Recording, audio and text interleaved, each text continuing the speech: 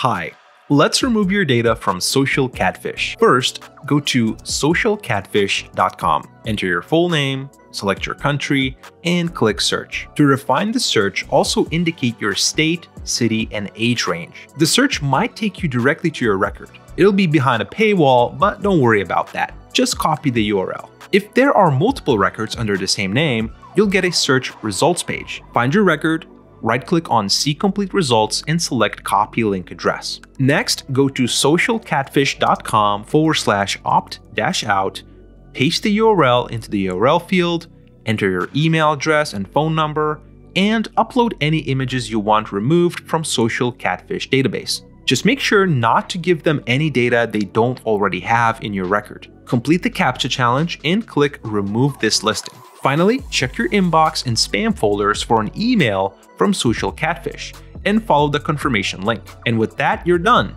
Your record should be removed from socialcatfish.com within 2 to 3 weeks. Don't spend any more time opting out one by one.